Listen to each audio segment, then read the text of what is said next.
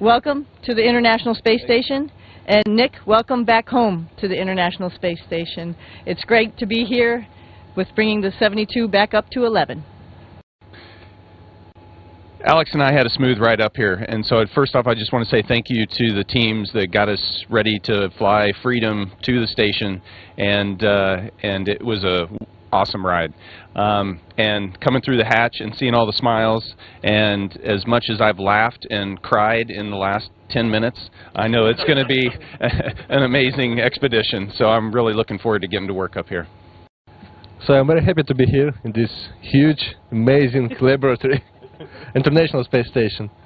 And I'm looking forward to, to, working with this crew, Expedition 72, and with people who are supporting us on the ground, MCC Houston, MCC Moscow,